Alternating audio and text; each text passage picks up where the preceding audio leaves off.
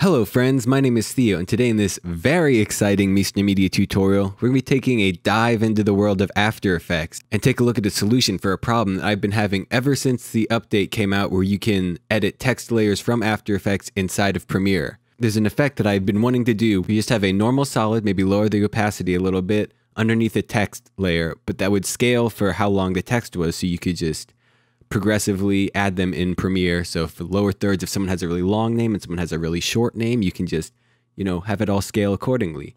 And I had no idea how to do this before. I was trying different expressions, all sorts of different crazy stuff.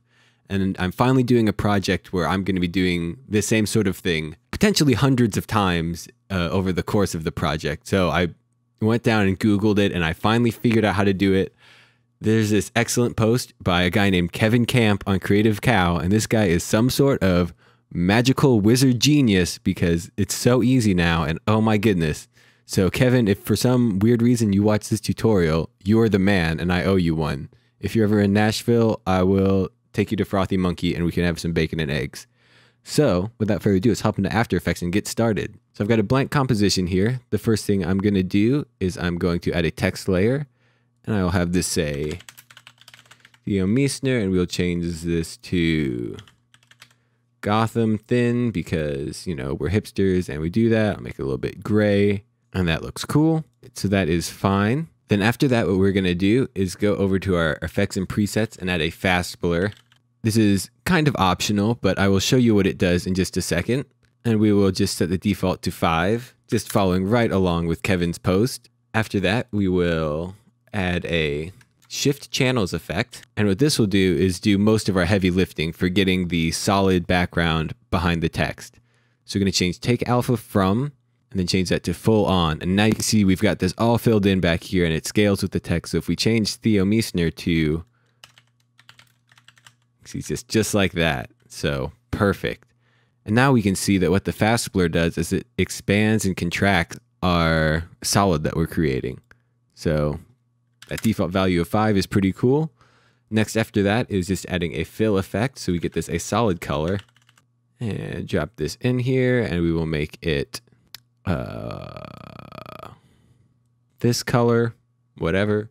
And then finally, since Kevin did this in such an elegant way, this would have been plenty enough for me. I would have been fine to duplicate the text layer. That's the way that I'm doing it in the project that I'm working on.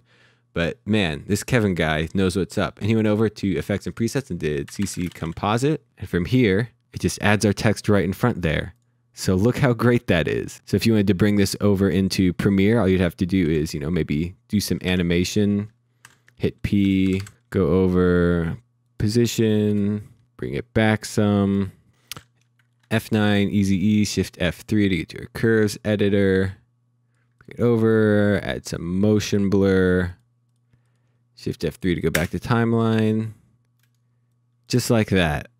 Look how fantastic that is. Oh my goodness.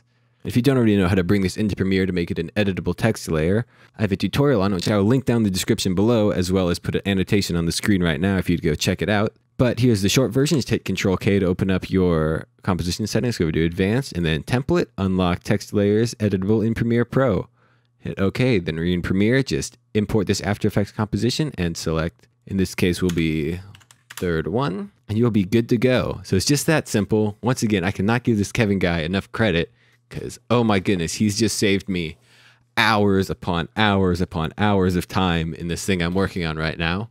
So be sure to go find him and say, You, sir, are a genius and deserve the best in everything you do. Anyway, I hope you enjoyed this tutorial. If you liked it, give it a like. If you didn't, give it a dislike. No matter what, leave your feelings down in the comments below because it's always fun to read the comments. If you want to see more stuff like this, be sure to subscribe to the Miesner Media YouTube channel. Check out the Miesner Media website and follow the socials down in the description below. Once again, I've been Theo with Miesner Media. I hope you have a great day and I will see you next time. Bye.